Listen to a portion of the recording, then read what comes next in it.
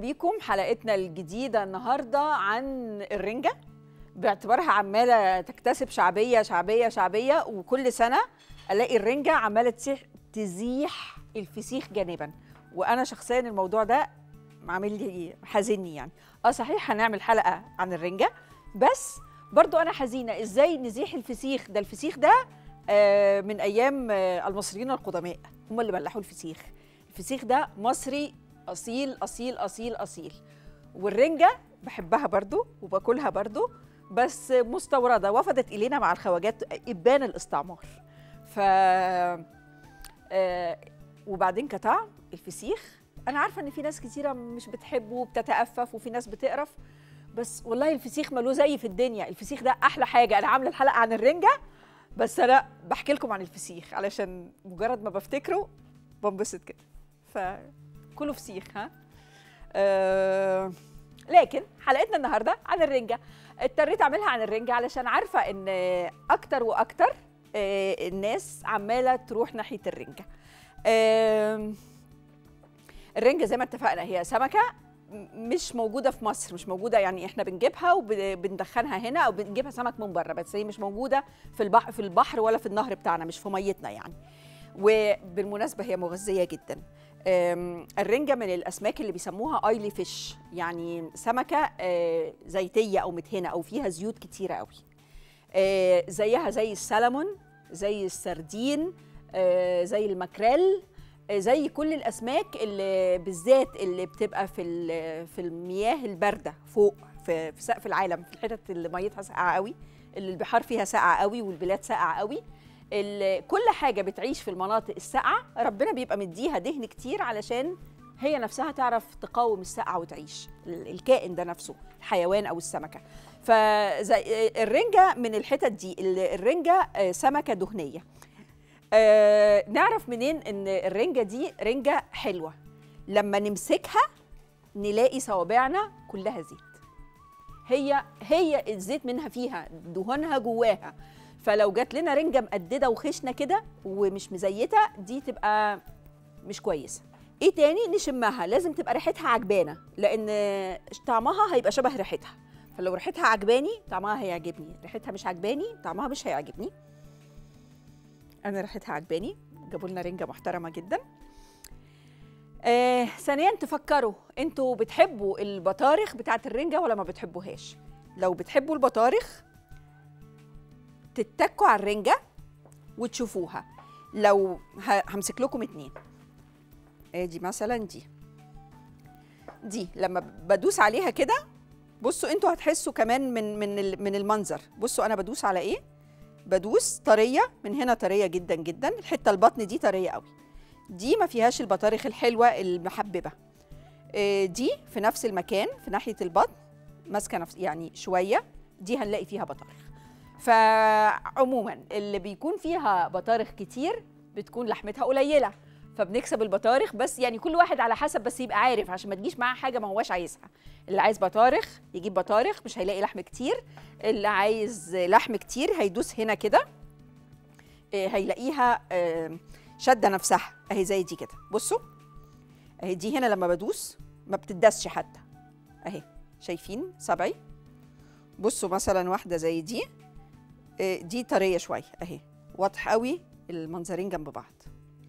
فاللي شاده نفسها دي دي فيها لحم كتير فلو أنتوا عايزين لحم. آه الرنجة. قلنا آه طول عمرنا إن إحنا بن بن بنمشيها كده فوق اللهب آه فوق الغاز ولغاية ما نلاقيها طقطقت فيبقى بسهل قوي إن إحنا نشيل جلدها. إحنا كلنا اتعلمناها كده. يعني كلنا شفنا أهالينا بتعملها كده ووصلتنا كده. لدرجة إن ما نعرف لهاش طريقة غير كده. آه وأنا كبيرة يعني حديثا من كام سنة اللي اكتشفت لها حاجتين لقيتهم ألطف من الطريقة دي. هم عايزه أقول لكم بقى عليهم النهارده. اولا مرة كنت بشتري رنجة من راجل شهير كده من كبار تجار الفسيخ والرنجة في مصر يعني من الأسماء الجامدة قوي. وأنا بحس إن الناس اللي بشتري منهم دول أصدقاء أصدقاء مقربين لأن هم اللي بيعرفوني كل حاجة هم اللي بيعلموني. ف ما بشتريش وأمشي بشتري وبقف وبتكلم وبنتصادق وبيدوني أسرارهم. آه فالراجل بقى التاجر ده قال لي آم، لأ آه، أنت بتحطيها على النار. قلت له آه طبعا. فقال لي آه، لأ آه، بلاش على النار. آه، جربي تاكليها من غير نار هتلاقيها مش حامية هتلاقيها أحلى. فعلى كلامه ده راجل فاهم. فجربت فعلا حاولت أشيل الجلده من غير ما أفوتها على النار خالص لقيتها اتشالت. ولما أكلتها لقيتها آه، طعمة جدا نفس الطعامه بس التانية السخونة بتيجي تسخن الزيت. النار بتيجي إحنا قلنا إن هي فيها زيت كتير قوي مادة زيتية كبيرة. بتيجي تسخن الزيت بيحميها كده بيخليها حامية. فاعملوا بنصيحة الراجل وجربوها من غير نار. ده اولا المفاجأة التاني التانية ليا آه، غير إن الرنجة والنار ولا مش نار إني كنت مرة كنت في بلد بره مصر. اضطريت ظروفي اضطرتني إن أنا أعيش كام سنة بره مصر. و وكانت يعني صديقة ليا من هناك أو واحدة جارتي آه، لقيتها واقفة معاها ولقيتها بتعمل رنجة وراحت سقطتها في مية. فأنا يا نهار أبيض رنجة في مية؟ لا لا يعني ده كتير. إحنا في بلدنا ابدا الرنجة والمية ما يتقابلوش دي حتى تزفر. فبصيت لي كده باستعلاء واسكتي انت فاسكت يعني ما قالتليش يعني بس فهمتني إن ما تدخلش في اللي ماليش فيه. فأنا احترمت نفسي وسكت بس دقت. ولما دقت عرفت إن هي صح. آه، في البلاد دي في بلاد كتيرة آه، بينزلوا الرنجة تستوي في مية شوية. يغلوا المية وهم أقول لكم بيعملوا إيه كمان؟ بيخرجوا المية دي بره الشقة لو أمكن. ما بتبقاش شقق بقى بتبقى بيوت بجناين بحاجات كده يعني بره مصر. فعلشان ما يخلوش ريحة البيت وحشة فيعملوا يعني يغلوا المية وياخدوها بره في الجنينة ويعملوا كل الحدوتة دي بحيث إن يفضل البيت ريحته كويسة. لو تقدروا. لو ما تقدروش خلاص ضحوا بريحة البيت بقى. آه آه، بيعملوا إيه؟ بيغلوا المية زي ما أنا عايزة أغلي المية دي دلوقتي. وأول ما المية تغلي خليني اشوفها قربت ولا هنضطر نستنى؟ لا سخنة قوي آه ناخد دي ناخد دي. شكلها بتقول إن عندها لحم كتير وهننجز يعني. آه أول ما المية تغلي بينزلوا الرنجة في المية كده ويسيبوها تغلي قليل قوي أربع دقايق بالكتير قوي قوي قوي خمس دقايق. ويشيلوها و يعني لولا اني دقتها ما كنتش هبقى مقتنعة خالص. أكيد أنتم مش مقتنعين لأنكم ما دقتوش. آه، بتبقى أحلى كتير قوي. اللحم بيطرى و وطعمها بيبقى أهدى وألطف وبتدي نتيجة كويسة قوي. آه، خليني أنا عندي عايزة أنتظر خمس دقايق إن اللي هديهم للرنجة في المية. زي ما اتفقنا بس المشكلة إن هي بالذات أول ما المية تبتدي تغلي هتطلع بخار كتير وهتملى ريحة البيت كله رنجة فحاولوا تتدبروا الموضوع أو تغطوها بس لو غطيتوا بدل خمس دقايق خلوها دقيقتين أو ثلاثة لأن البخار برضو بيسرع. و خليني آخد الوقت ده بره وأرجع لكم.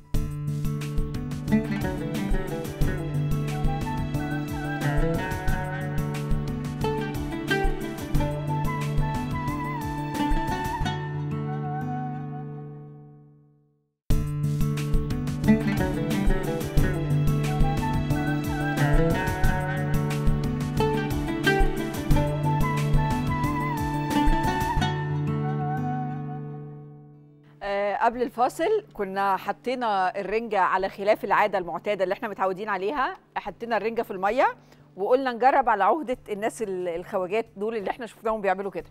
أنا جربت الحقيقة وما ندمتش. كده لطيفة وكده لطيفة. بس حطها في مية بيقلل ملحها. فعلى الأقل الناس اللي عندها أملاح آه، أو عايزة تخف دهونها كمان شوية أو بتشتكي من إن هي مش قادرة تاكل حاجة يعني طعمها قوي قوي فالمية هت... هتحبوها. وبعدين آدي الرنجة آه معلش بقى هي عملية تشريحية. بصوا درس تشريح المنظر مش أكتر حاجة عاطفية. بس برضو لو حبيتوا تفصصوا رنجة ها... كلكم هتعيشوا المنظر ده. اللي مش عاطفي ده كلكم هتعيشوه. أنا ما بحبش. كل اللحم اللي لازق هنا في الجلد بحب أنزله اللحم البني ده ما, ما برميهوش. وبعدين زي ما اتفقنا اللي, اللي بتبقى ناعمة بيبقى فيها آه، بطروخ آه، أو اللي بتبقى ماسكة نفسها شوية بيبقى فيها البطروخ اللي هو الخشن ده اللي أغلب الناس بتحبه. بصوا آه، زي ما اتفقنا قلنا دي هيبقى فا- فاكرين وإحنا بننقي لما حطينا في المية. قلنا التقيلة دي فيها بطروخ جامد. لو عايزين حاجة من غير بطروخ جامد بتبقى قطرة شوية. وانتوا بتنقوا. وهقول لكم على حاجة تانية دلوقتي وإحنا بننقي. في هنا حاجات ممبرينز أو أغشية بنشيلها وإحنا بننضف الرنجة. وبنحاول نطلع كل السلسلة بالديل. الديل هيطلع مع السلسلة كده أهو. دي أسهل طريقة. هتخلص منه والرنجة كده بقت فيليه. آه، أهو. بنشيل كده ده الحتة دي هتطلع بكل كمان الشوك الطري ده اللي إحنا يعني بيتاكل على فكرة ما فيهوش أي حاجة لو كلنا بناكله بس لو عايزين بتنضفوه بقى في لمات ومناسبات ويبقى الشغل أعلى شوية. كده بقى عندنا الفيليه. آه، الفيليه الجاهز يا جماعة هو ما جاش فيليه هو كان سمكة وفي حد عمل اللي إحنا بنعمله ده وخلاها فيليه عشان إحنا نشتريه على الجاهز نرتاح. أنا بحب إن إحنا نرتاح بس أنا ما بحبش أحس إن في حد عمل ده بالنيابة عني يعني بإيده. هو ده اللي بيحصل. هو مش مصانع أو مش مكن اللي بيخليه فيليه هو بيتعمل فيليك زي ما أنت كنت هتعمليه لنفسك في حد عمله لك هناك. ففي الحاجات دي بصراحة أنا أفضل إن أنا أكون أول واحدة مسكت السمكايه ما يكون في إيد قبل مسكتها. ودي ميزة إنه ما يبقاش آه، إني ما نشتريهوش فيليه. الميزة الثانية إنه الفيليه لو اتركن طعمه بيقل. يعني لو اشتريتيه فيليه وما اتاكلش على طول الطعم بيفضل يقل. آه، الرنج السمكية الرنجة طول ما هي بقفلتها كده تتركن زي ما تتركن طعمها جواها. لكن لو هي فيليه آه، الطعم مش زي ما بتكون والسمكة لسه مفتوحة طازة. فدول السببين اللي علشانهم أنا بحب أجيب الرنجة وأنا ألغوص بنفسي. طيب أنا هحتاج لل... لل... يعني هحتاج أحط واحدة تانية. بس خليني أوطي النار هنا قوي. آه، دول هيكفوني الأول أكلة بس خلينا وإحنا مع بعض نحط. برضو وأنتوا بتنقوا الرنجة آه، عايزين تعرفوا فيها لحم كتير ولا لأ. إحنا قلنا من عند البطن بنعرف البطارخ. يعني ادي أدي السمكية. ده ظهرها ودي بطنها. البطن بنكشف فيها على البطارخ. لو هنا جامد تبقى البطارخ المحببة اللي مطلوبة ولو هنا طري قوي بتبقى البطارخ مش المحببة بتبقى البطارخ اللي, اللي أغلب الناس ما بتحبهاش. طيب ده من ناحية البطارخ. لو حبينا نكشف فيها لحم كتير أي سمكة مش بس الرنجة. رنجة بلطي بوري أي سمكة. عايزين تعرفوا يعني ملحمة كويس ولا لأ؟ والفسيخ كمان تحديدا الفسيخ أكتر من يعني الفسيخ والرنجة أكتر حاجة. بنيجي من عند الظهر هنا دي البطن. دي البطن الحتة اللي فيها التنظيف ودي الظهر. بنيجي من عند الظهر. لو هي الحتة دي ال- السمك ده رفيع يبقى ما فيش لحم. آه، وانتوا بتنقوا فسيخ أو أنتوا بتنقوا رنجة خدوا الحتة دي يبقى سمكها أهي. بصوا دي. بصوا هنا. شايفين الحتة دي سمكها قد إيه؟ شايفين دي مبططة إزاي؟ أهو. يا رب يكونوا باينين. هحط دي وهحط دي هنا. وهتشوفوا دي هنا سميكة قوي. ودي مبططة خالص. أه نحط بقى واحدة تاني علشان الأكلات الجاية. إحنا الأكلة الجاية هيبقى عندنا إيه؟ أحكي لكم. الأكلة الجاية هيبقى عندنا بطاطس بس مش اللي إحنا بنعملها دلوقتي اللي وراها هيبقى عندنا بطاطس فإحنا بنسلق البطاطس أهو. وكالعادة بنسلقها بقشرها ابدا ما بنقشرش البطاطس قبل ما نسلقها. و- ونحط واحدة برضو احتياطي تاني. خلينا ناخد دي.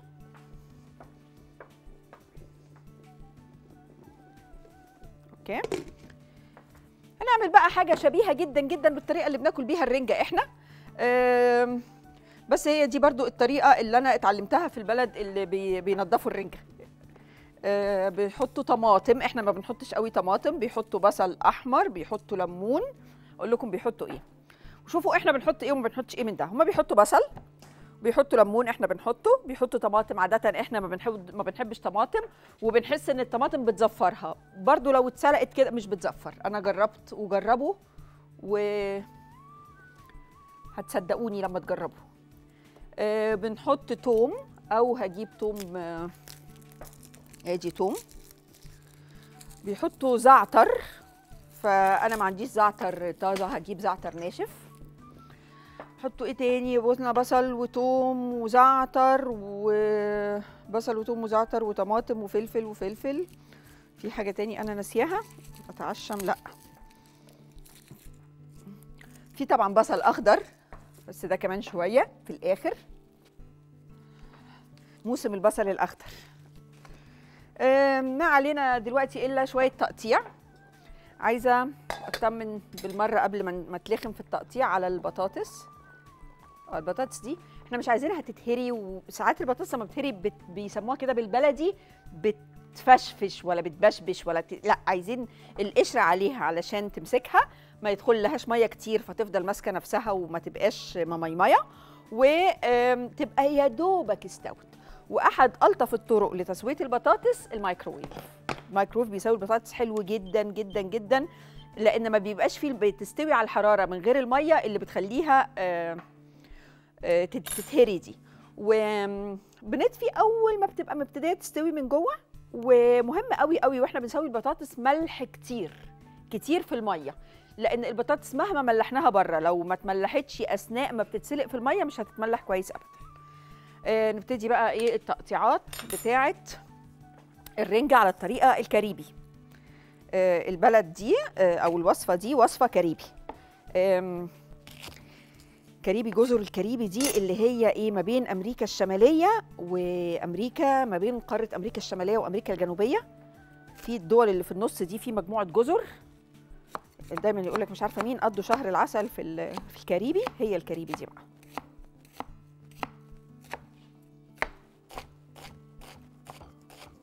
إحنا لغاية دلوقتي شبه رنجتنا ال- الطر- الطريقة ال- البلد البلدي بتاعتنا خالص. فاكرين إن إحنا بقايا الأكل مش هنرميها ابدا آه، هنحتفظ بيها في كيس لوحدها علشان هتتحول لسماد قريبا. سمعتوا عن الموضوع ده؟ ابتدوه في بعض المحافظات.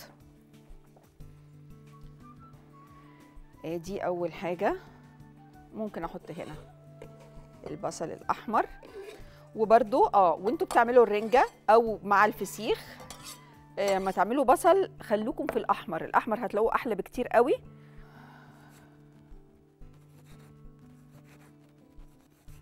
آه، وعايزين تقطعوا الطماطم صغير صغير صغير على إيديكم من غير البورد وإن كان المفروض إن بنقطع دايما السيفتي الأمان إن إحنا بنقطع على لوح. أنا عارفة إن 99% من الستات في البيوت في مصر وخارجها ما بيستخدموش اللوح. بس هو الحقيقة التعوير بتقل كتير قوي وهي على اللوح. فوق ما تضمنيش التعوير. بس خليني هعمل دي فوق.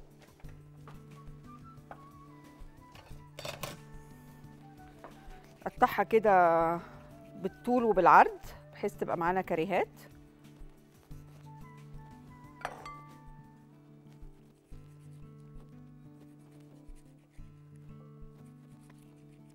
آه، في ناس بتحب تشيل البذر. لو بتاكلوا في حاجة شيك قوي بيبقوا دايما شايلين البذر. يعني المطبخ الكلاسيك يعني ال- الأصلي لو في مطاعم أو كده المفروض إن بذر الطماطم بيبقى متشال. إحنا ما بنشيلهاش في بيوتنا ما بنشيلهاش غالبا.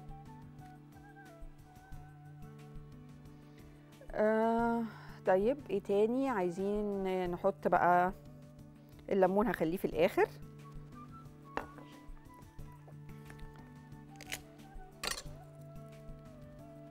عايزين نحط توميه الزعتر مهم قوي ولما تلاقوا زعتر فريش جربوا جربوا كده في أكلة الرنجة الجاية تبقوا حاطين فيها زعتر فريش. إحنا متعودين قوي البصل الأخضر والحاجات دي ما متعود ما تعودناش على الزعتر بس جربوها تحبوه.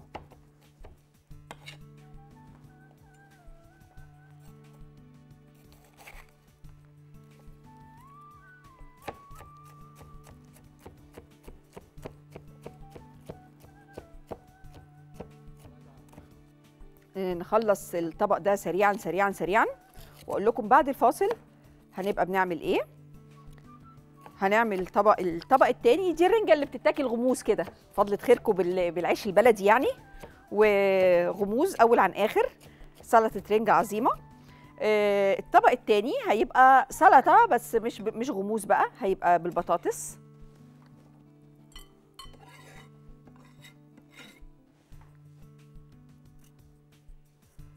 آه طيب.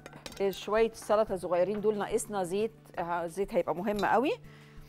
الرنجة اللي أنا فسستها دي كتير عليهم فهاخد منهم حبة. وأحاول الرنجة متفتفتة يعني مش مش محتاجة أفتفت قوي لأن هي على بال ما تتحط هتبقى شفتوا بقى ال- السلق بيخليها كمان آه، لطيفة كده وناعمة وسهلة التفتت.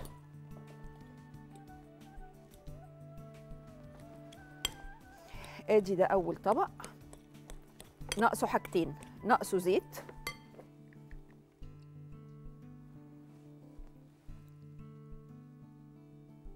مهم قوي الزيت مع الرنجة مع كل حاجة مملحة. الزيت بيطفي الملح.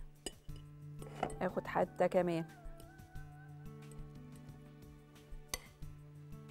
أوكي. ادي زيت. وناقصني عصر الليمون.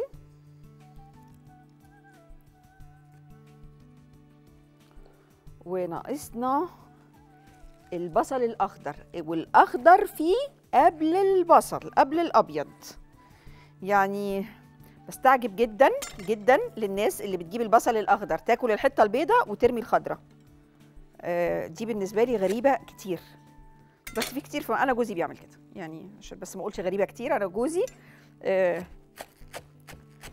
بياكل البص آه، بياكل الجزء الأبيض وي- ويسيب الباقي فأنا آخد الأخضر ونبقى كده إحنا خلصنا البصلة مع بعض.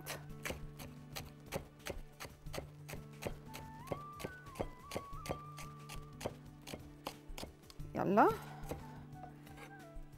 سلطة رنجة أنا هلاقي هنا هجوم عليها أنا عارفة. آم، ممكن أسيبكم وأطلع فاصل وبعد الفاصل هنعمل سلطة البطاطس بالرنجة.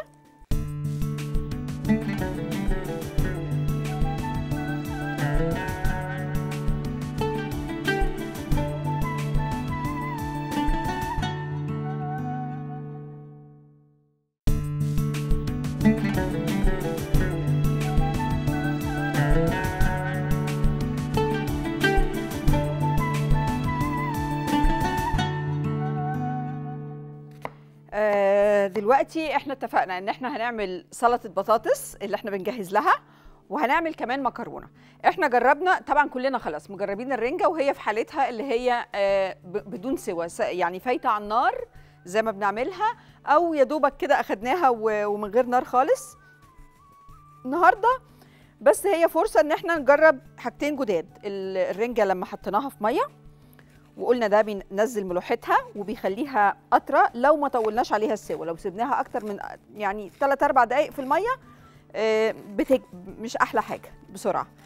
الطريقة الثانية اللي إحنا عايزين نجربها في الرنجة آه، والوصفة الثانية هي طريقة ووصفة. إن إحنا نعملها آه، نحطها في زيت مع البصل ودي هنعملها في مكرونة.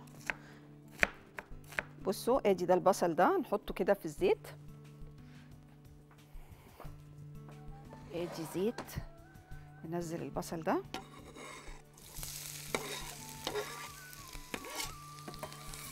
وعايزاكم تجربوا ده بقى. مكرونة بالرنجة. والرنجة المرة دي آه رنجة. آه نية يعني ما لا نزلت في مية ولا أي حاجة خالص.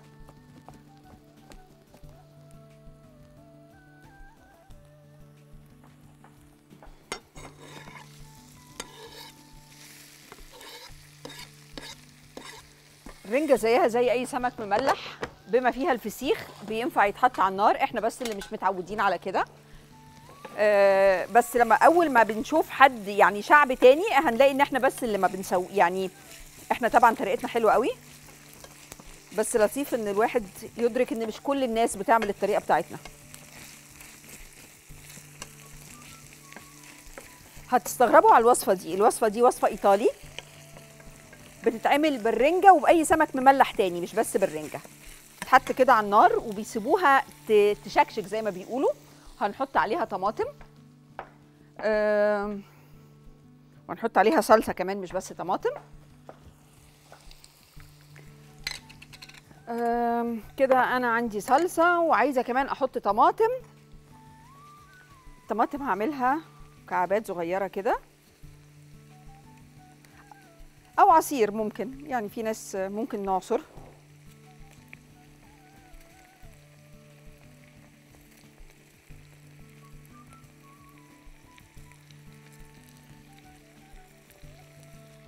آه، أخد طماطماية تاني.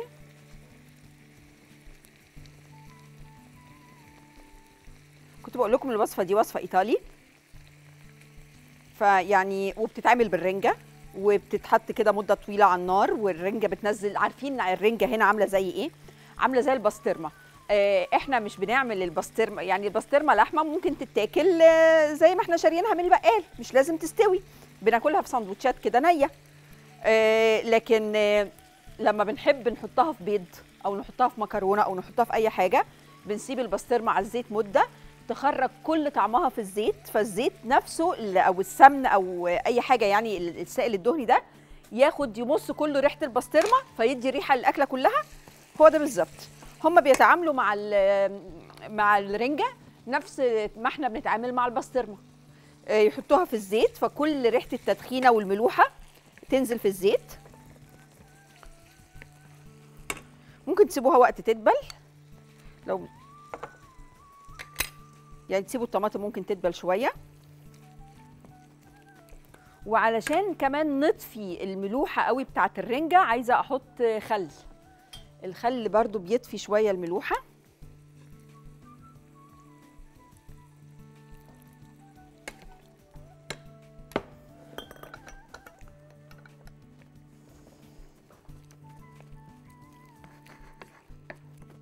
ونجرب بقى إيه تاني؟ أشوف capers أو آه حاجة حاجة تاني كده capers أو زيتون تليق معاه. عارفين برضو نفس الطريقة دي بيتسوى بيها إيه؟ في مكرونة نوع مكرونة مشهور قوي آه بيتعمل بس بدل بالرنجة بيتعمل بالأنشوجة. برضو بنفس الفكرة دي.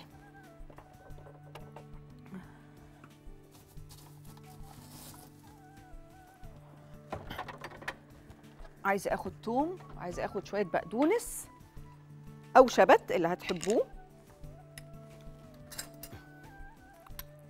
آدي توم. وهنا في خيار مخلل وزيتون أسود. هنحط زيتون وخيار مخلل أو أي حاجة بتحبوها. يعني اللي أنتوا تحسوا إن أنتوا عايزين تحطوه. آه، الزيتون أنا بفضل قوي أستخدم الأنواع اللي اللي تكون كاملة. ما تكونش متفصصة جاهزة. والزيتونة عشان تعرفوا هي حلوة ولا لأ اقطعوها كده. لو لقيتوها لونها من بره هو نفس لونها من جوه النوع ده كويس. لو لقيتوا إن هي من بره سودا ومن هنا القلب أبيض ده نوع وحش. ده مسبوغ بصبغه مسبوغ نازل في صبغه علشان يبقى زيتون أسود. هو مش زيتون أسود هو ما بيبقاش لسه استوى. فده مد ومحطوط له مواد علشان تطريه. يعني كله صناعي. فمش كويس عشانكم. ما تجيبوهوش. ما تجيبوش غير نوع زيتون كويس. أو لو ما نستعمل يعني بناقص الزيتون في أي وصفة. ما فيش وصفة هتقف على زيتون. يعني ما فيش وصفة لو شلنا منها الزيتون تبقى الوصفة باظت. ما فيش. يعني آه، فلو إحنا مش هنقدر نست يعني نستعمل نوع كويس نقلل أو نشيل الزيتون من الوصفة. أحسن ما نستخدم أنواع مش حلوة.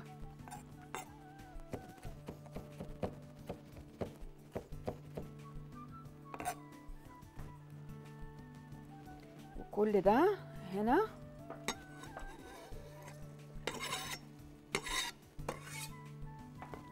عايزين كمان دلوقتي نحط حبة المكرونة اللي هنسلقهم. أنتوا عارفين الم... الم... المقدار الصح لأكل المكرونة آه، كل فرد آه، كبشة. يعني لو لو مش عايزين ناكل كتير لو يعني واخدين بالنا من أكلنا. أنا كده كفاية قوي مش هكمل الباقي.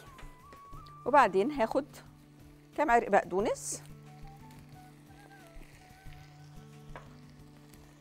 طبعا دايما الخضرة إيه بقى نحطها في آخر آخر ال آخر حاجة تنزل يعني وإحنا بنطفي.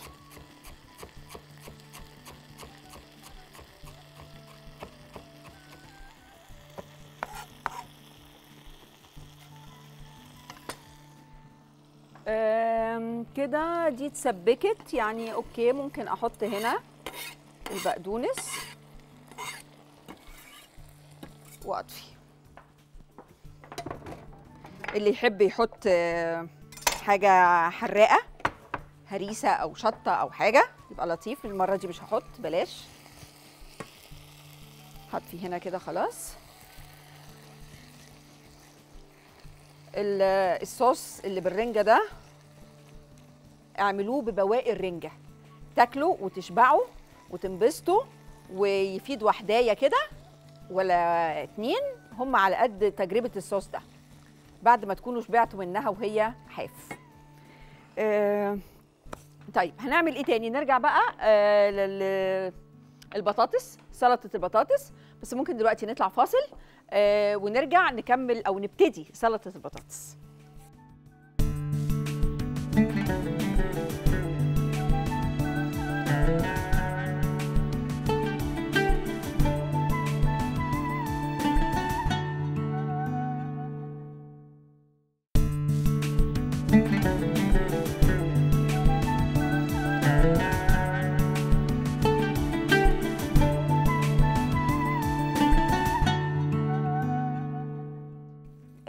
كده إحنا كنا بنعمل بنسلق المكرونة سلقنا المكرونة هنحط عليها شوية من الصوص ده.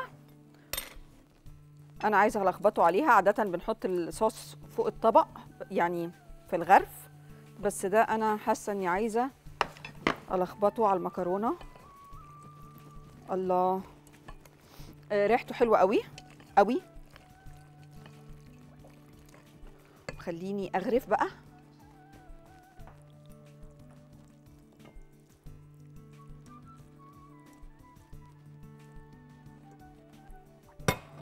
هتعجبكم يا جماعة فكرة بواقي الرنجة. اتصرفوا فيها كده.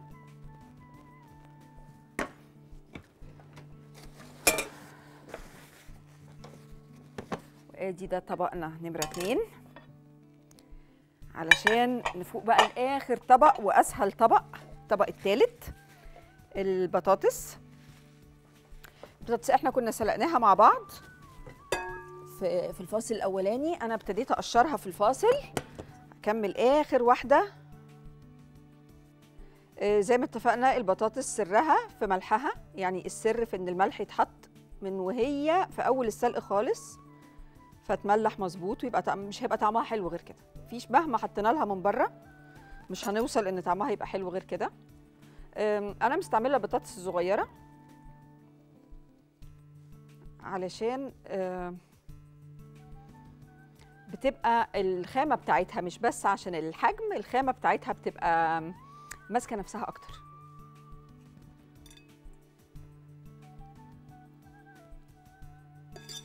أقطعها أرباع كده.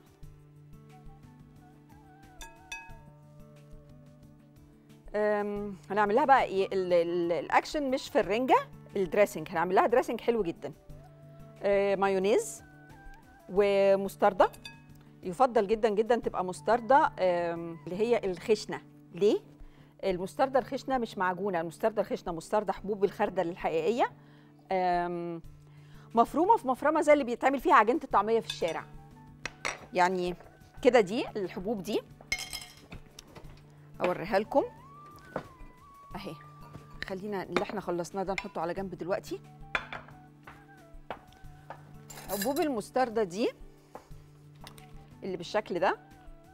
ده حبوب خردل اللي هو معمول منه المستردة ومطحونة في حاجة زي الرحايا كده. يعني زي ما الراجل بتاع الفول والطعمية اللي في الشارع بي بيعجن لنا آه، بيعمل عجينة الطعمية تطلع بتاعة الشارع غير بتاعة البيت بتطلع هايشة كده ونافشة وناعمة قوي قوي. فهي حبوب خردل اتطحنت آه، مش أكتر ولا أقل. الفرق بينها بقى في الطعم وبين المستردة الصفراء اللي, اللي, بال- اللي بنحطها في البزاز دي فرق كبير جدا. دي طعمها خردل صافي بدون يعني يكاد يكون مفيش إضافات غير بسيط قوي قوي آه، التانية طعم صناعي أو الطعم شارب بيبقى جامد جدا بيبقى محطوط عليه كمية خل وكمية في ملح وفي خل كتير قوي ومخليينه زاعق قوي علشان بيتحط منه كمية قليلة فوق السندوتشات أو كده. فهنا هنحط ال- المستردة وزي ال base بتاع أي dressing محترم بيبقى فيه مايونيز دول تقريبا نص كوباية مايونيز. في إضافة كده لذيذة لو موجودة عندنا في البيت بس أنا بحب البيوت يبقى فيها الحاجات دي. آه ده كاري معجون كاري تايلاندي بيتباع كده بيبقى كده في السوبر ماركت وهو محطوط جوه علبة تلاقوه جوه مقفول جوه علبة بلاستيك كده. آه الحاجات دي خلاصة الطعم هم نقوا كل الحاجات الفلفل الحامي على ال أنواع من التوابل الخلنجان على آم، ليمون يعني اللي هو عشبة الليمون على على على على وبيعملوا منها المعجون. فالمعجون ده زيه زي إيه؟ زي الشطة زي الهريسة زي ال- الكاري. هو كاري هو نوع من أنواع الكاري. القليل منه بيدي طعم كبير قوي. وينفع يتضاف على اياتها شيء يعني اياتها شيء ممكن نضيف عليه فيحسن طعمه. إيه، لو البيت فيه حاجة زي كده ويحبذ يبقى فيه حاجة زي كده ليه لأ؟ هنقدر نحط بصوا شوية صغيرين كده.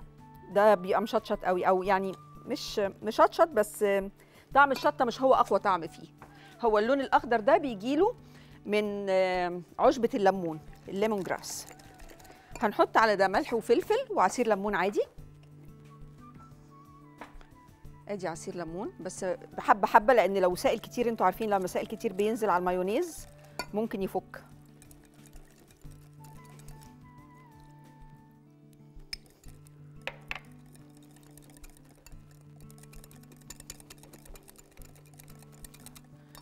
ونحط آه، ملح قليل وفلفل قليل. الموضوع مش محتاج ملح كتير لأن كلها حاجات طعمها ظابط يعني.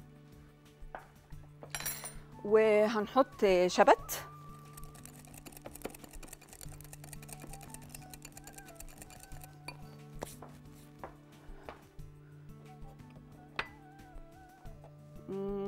عايزة شوية شبت.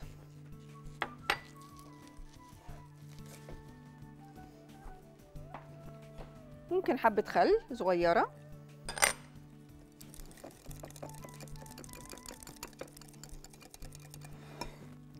والشبت ده نقطعه.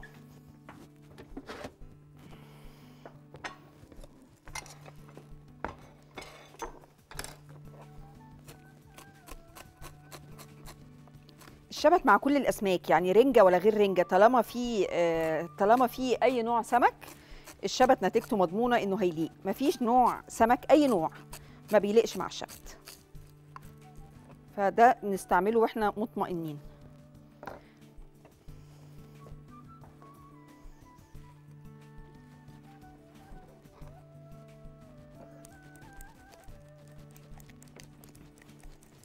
وآدي الجراسنج ده هينزل.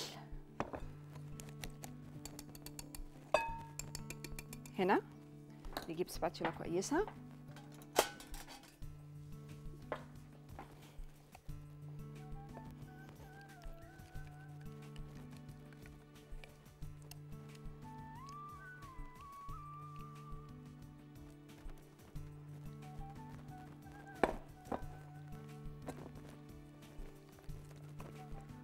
وفوقيه الرنجة اللي إحنا كنا مفصصينها.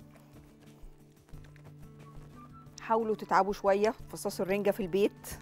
مش أحلى حاجة تجيبوها ست تانية فصصتها لك في المصنع اللي بيعها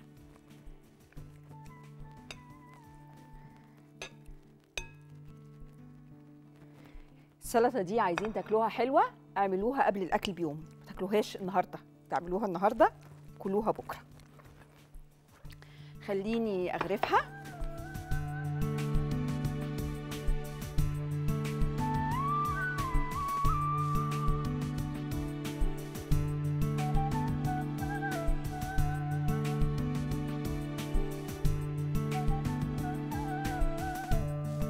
ونشوفكم قريبا جدا في حلقة جديدة من عيش وملح ومكون جديد آه، مش هيكون رنجة آم، وقتها بقى أقول لكم هيكون إيه إن شاء الله.